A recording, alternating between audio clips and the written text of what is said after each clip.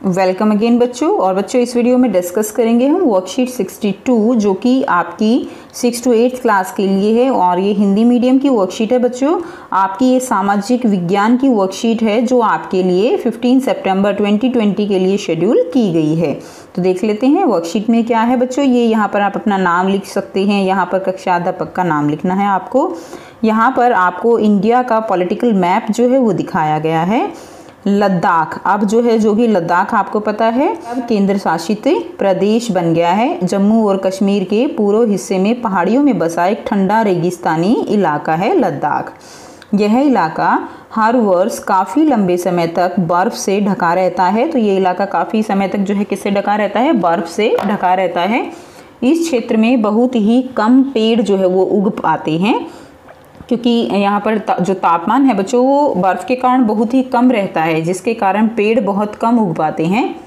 पानी के पीने के लिए लोग गर्मी के महीनों में पिघलने वाली बर्फ़ पर निर्भर रहते हैं और यहाँ के लोग एक ख़ास किस्म की भेड़ पालते हैं ठीक है?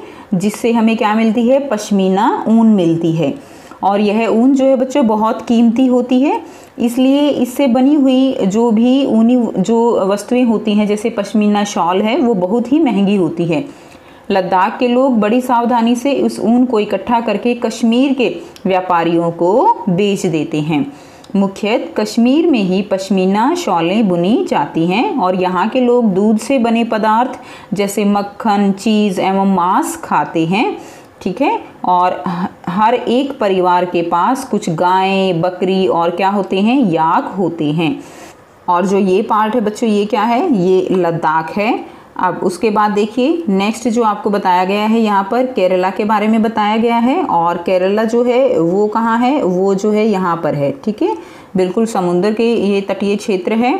अब उसके बाद इसके बारे में पढ़ लेते हैं। केरला पश्चिम के दक्षिणी पश्चिमी कोने में बसा हुआ राज्य है। यह एक तरफ़ से समुद्र से घिरा हुआ है और दूसरी तरफ़ जो है ये पहाड़ियों से घिरा हुआ है और इन पहाड़ियों पर विविध प्रकार के मसाले, जैसे कि काली मिर्च, लौंग, इलायची, ये सभी उगाए जाते हैं। इन मसालों के कारण यह क्षेत्र व्यापारियों के लिए बहुत ही आकर्षक बना। सबसे पहले अरबी एवं यहूदी, वो जो है केरल आए थे तो कौन आए थे सबसे पहले? अरबी एवं यहूदी। ऐसा माना जाता है कि ईसा मसीह के धर्मदूत संत थॉमस लगभग 2000 साल पहले यहाँ आए थे। केरला में जो ज़्यादातर लोग जो रहते हैं, उनका धर्म जो है वो क्रिश्चियन है और वो ईसा मसीह को मानते हैं। वो इसी कारण कि ऐसा माना जाता है कि ईसा मसीह के जो धर्मदूत हैं, संत थॉमस लगभग 2000 साल पहले यहाँ आए थे और भारत में ईसाई धर्म लाने का जो श्रेय है, वो उन्हीं को जाता है। अरब से कई व्यापारी यहाँ आकर बस गए। इबन बतूता ने जो करीब 700 साल पहले यहाँ आए, अपनी जो यात्रा वृत्तांत में मुसलमानों के जीवन का विवरण देते हुए लिखा है कि मुसलमान समुदाय की यहाँ से बड़ी इज़्ज़त थी। ठीक है वास्कोडी गामा, पानी के जहाज़ से यहाँ पहुँचे थे तो पुर्तगालियों ने यूरोप से भारत तक का समुद्री रास्ता जाना था।